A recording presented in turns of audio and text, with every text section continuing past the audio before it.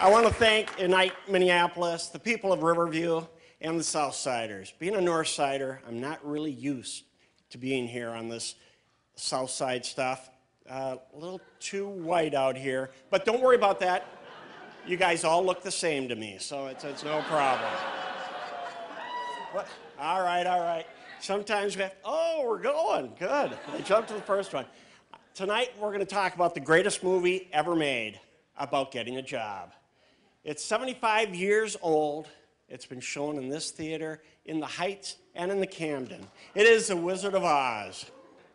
It is memorable, and it's as relevant today as it was back then. This movie, when you look at it and you lose your job, you're in a job where you probably think, I need a different job. You look at these people and they're thinking, well, look at the middle guy. Look at all of them. They want to be somewhere else. They want a different job. But when you're thinking that way at your job, you usually lose your job. Yeah, you lose your job just like a tornado hits you. You lose your job like a hurricane or a twister. You have no idea when you've been outsourced, offshored, or you've just been laid off. But, and the worst part is if you look, your boss is riding your bike home. It's not, not a good thing, but, but it does work. And then you end up in a world that you have no clue where you are. It's totally different people. You got government regulations. You got these little people talking to you, telling you everything you need to do. And if you look close, some people even write you off as dead. Don't let that happen to you. What you need is a plan. Dorothy had a plan. You need a plan. Follow the yellow brick road. Update the resume. Get on Indeed, LinkedIn. Start to network. Network with everybody you can. You can do it. And when you network, don't forget to network with the people that are high up. It's good to have networking with people in high places. And don't forget your little friend Toto, too. You need to bring your friends along. But your friends need to be a certain type.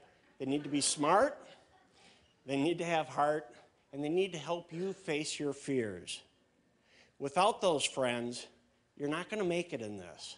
But if you notice, they're with you, lockstep, sometimes skipping, and you're following. But be careful too. There's people out there claiming to be your friends. They want to help you. They're really not out there to help you. As the saying goes, it only takes one bad apple. And we don't want that to happen to you when you're looking for a job. But when you do have that job, like we heard earlier in the Golden Parachute, have those companies listed, which ones you want to work for.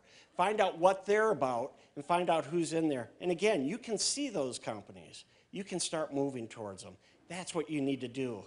But remember, too, at this day and age, they're all going to give you a drug test. So stay away from the poppies.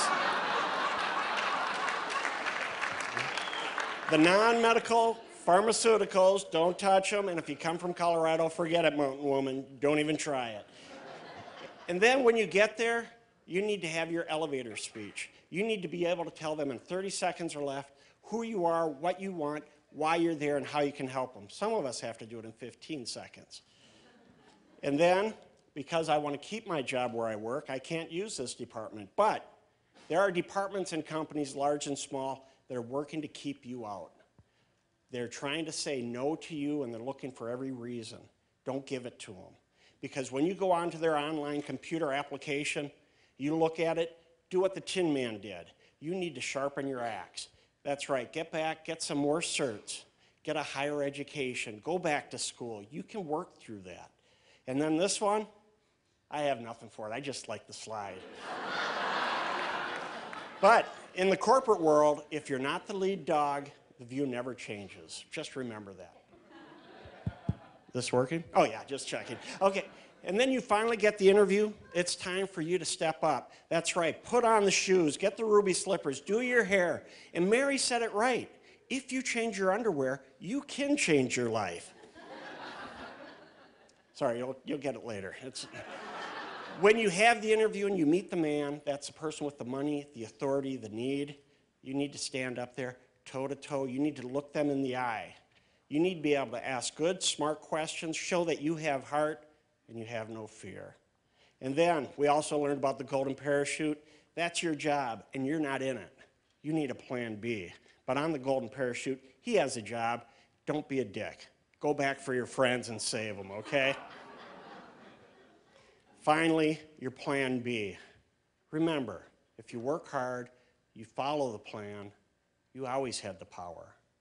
Each and every one of you, you have the power inside to change your job, your life, your career. So when you do get that dream job, don't go on these work hours like Mountain World. You need to get out of bed, get to your job, quit talking to your friends and families and tell you how good you're doing, and get out of there. But tonight, thank you. I appreciate it. Have a beautiful night.